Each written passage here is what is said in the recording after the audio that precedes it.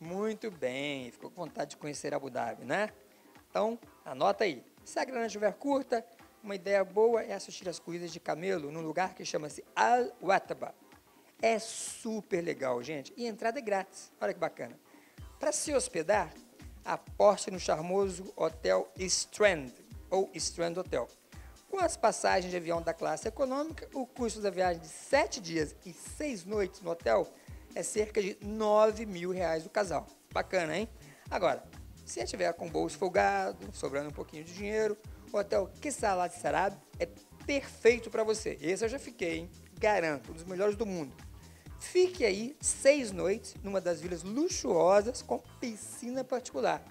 E tem que ver de perto o luxuoso Abu Dhabi Falcon Hospital, que eu mostrei agora no programa. É aquele hospital de falcões. É impressionante. Para completar, viagem de avião na classe executiva. O preço total é por volta de 50 mil reais o casal. Bem, parece caro, mas para você que está com dinheirinho sobrando, é um grande investimento.